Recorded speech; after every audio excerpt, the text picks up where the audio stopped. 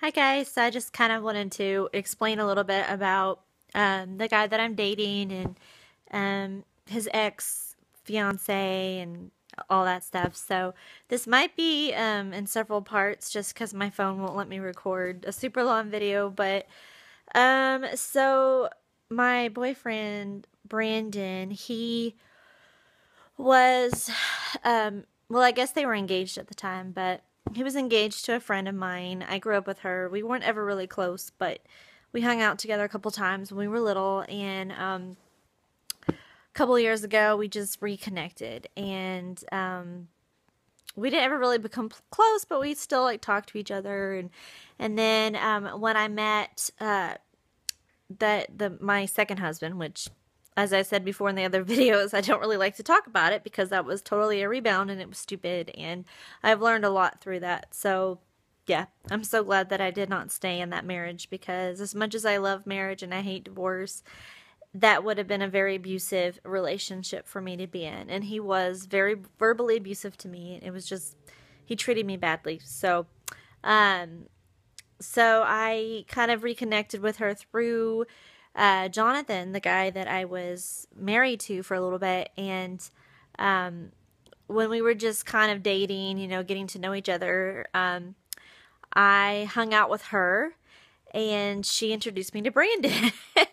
and she was like, Hey, you know, this is my fiance, Brandon. And, you know, at the time I was like, Oh, yeah, he's cute and everything. But, you know, he's her fiance and I'm with Jonathan and everything's cool.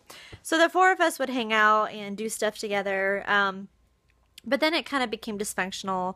Um, my the guy that I was with was becoming more abusive with me. Um, he was really putting me down. Um, I felt like it was just a matter of time before he started to become physically abusive.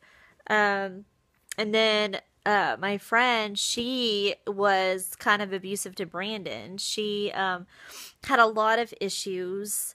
Um, I found out that she had been using meth and was high all the time. Um, she had, well, she still has her, but at the time she had a nine year old daughter, and Brandon was kind of like a father to her as well. And Brandon's a very sweet guy. He has such a sweet, laid back temperament that he um, stayed with them for a long time. And Kathy, there were times where she would just disappear for weeks and nobody knew where she was.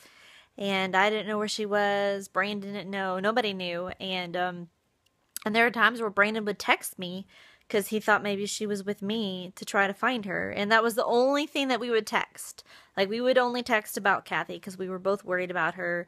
If I couldn't reach her, if she didn't have a phone, I would call Brandon be like, hey, I'm worried about Kathy. She confessed to me that she had a relapse the other day.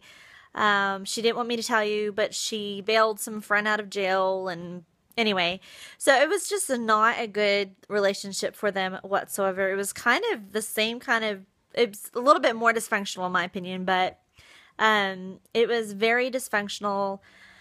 Um, she would confess to me about shoplifting. Um, she forged checks. She, um, oh, what else?